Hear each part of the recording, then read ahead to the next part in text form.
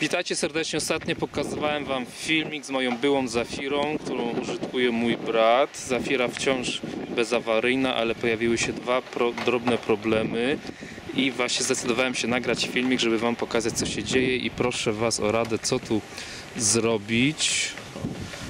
E, okazuje się, że zaczęły parować tylnie e, reflektor, nie, tylnie lampy, co chyba widać na załączonym obrazku. I do tego wszystkiego, słuchajcie, zaczyna się lać do środka. Tutaj nie wiem, czy widzicie, trochę wody jest w tej lewej lampie. Natomiast w prawej lampie tej wody, wody jest zupełnie dużo i nawet żarówka zaczęła, a brat nawet tego specjalnie nie widział, dopiero. Żarówka jest zupełnie w wodzie. Aż dziwne, że nie ma żadnego zwarcia. Więc pytanie, jakie macie doświadczenia? Czy wymienialiście lampy zupełnie na nowe? Czy to się jakoś da uszczelnić? Także bardzo proszę napiszcie w komentarzu, co byście tu zrobili. Także póki co spróbujemy wyciągnąć całą lampę i po prostu wodę wylać. Nie wiem, czy pamiętacie, jak się to robi. Tu od środka trzeba ściągnąć tę y, pokrywkę plastikową i tu od środka są dwa, dwa plastiko, dwie plastikowe nakrętki. Jedna jest na tej wysokości tutaj, a druga wyżej trzeba tam u góry wsadzić rękę i reflektor, lampa cała schodzi.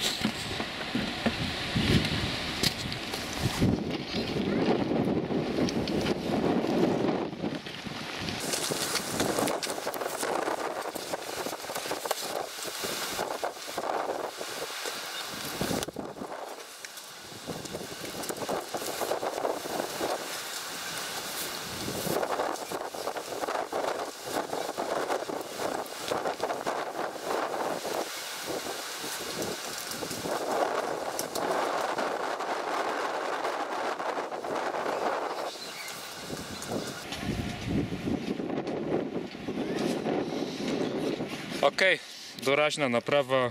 Natomiast co tym zrobić na dłuższą metę? Napiszcie w komentarzu. Dzięki.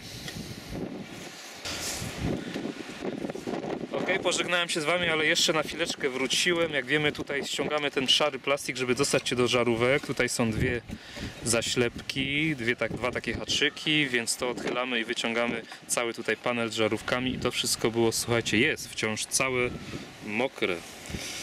Także aż dziw, że do tej pory nie było żadnego zwarcia.